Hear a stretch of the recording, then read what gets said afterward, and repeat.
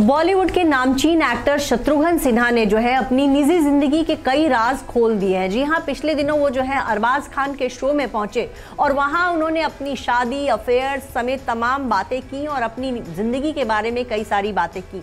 सबसे पहले तो उन्होंने ये बताया कि वो जब बॉलीवुड में हीरो बनने की चाह रखने वाले थे तो उनके पिता ने उनसे यही कहा कि तुम क्या भांड का काम करोगे? क्योंकि बहुत सारे जो ऐसे जगह हैं देश में जहाँ ऐसा माना जाता है, फ़िल्मों में काम करना अच्छा नहीं माना जाता। कहीं ना कहीं लोग सोचते हैं कि एक मर्द को जो है नाच गाने का काम नहीं करना चाहिए। और जब उन्होंने कहा, मैं एक्टर बनना चाहता हूँ तो उनके पिता ने जो है उनको बहुत डांटा।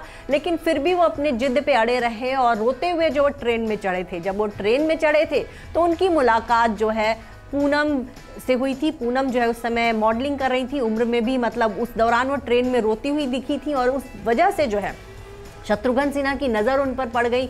दोनों के बीच बातचीत हुए और दोनों ने अपने नंबर एक्सचेंज किए और उसके बाद जो है शत्रुघ्न सिन्हा पुणे चले गए और उनकी जो गर्लफ्रेंड पूनम थी, वो जो है मुंबई गई। इसके बाद शत्रुघ्न सिन्हा ने जो अपना फ़िल्म इंस्टीट्यूट में कोर्स कंप्लीट किया, वो बॉलीवुड में आए और बॉलीवुड में उन्होंने फ़िल्मों में काम करना शुरू किया। उनकी पहली सुपरहिट फ़िल्म थी कालीचरण, जो कि बहुत चर्चा में रही और उस फ़िल्म में उनकी हीरोइन थी रीना रॉय। कहा जाता है कि एक तरफ़ जो है शत्रुघ्न सिन्हा पूनम से भी अफेयर था, उनका दूसरी तरफ़ वो रीना रॉय के साथ भी रिलेशनशिप में थे। कहा जाता है कि 1981 में जो है रीना रॉय को धोखा देकर शत्रुघ्न सिन्हा ने जो है पूनम से तो शादी कर ली।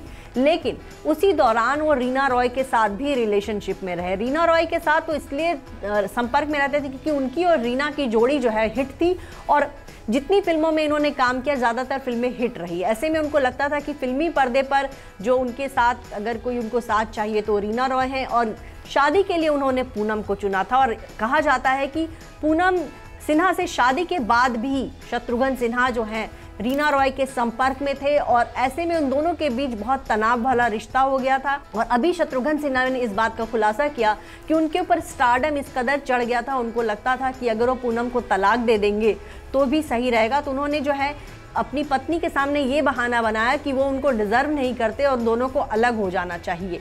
तो ये बात थी, लेकिन कुछ दिनों बाद जब उनको लगा कि नहीं पूनम जो है वाकई में उनकी सच्ची जीवन संगनी है। दोनों के बीच बातचीत बंद हो गई थी। पूनम उनका घर छोड़ के भी चली गई थी।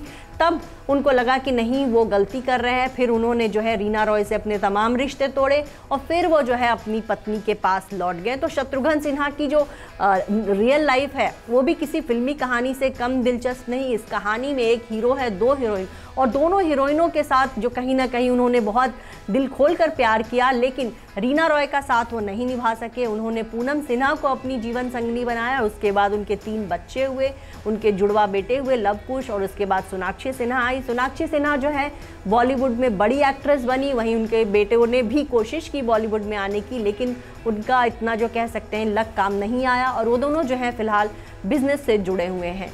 तो ये थी कहानी शत्रुघ्न सिन्हा की। वैसे तो उनकी कहानी, बहुत सारे राज उन्होंने अरबाज खान के शो में खोले हैं, लेकिन यहाँ जो उन्होंने अपनी पत्नी को तलाक देने वाली बात कही, उसकी जो है सबसे ज़्यादा चर्चा हो रही है।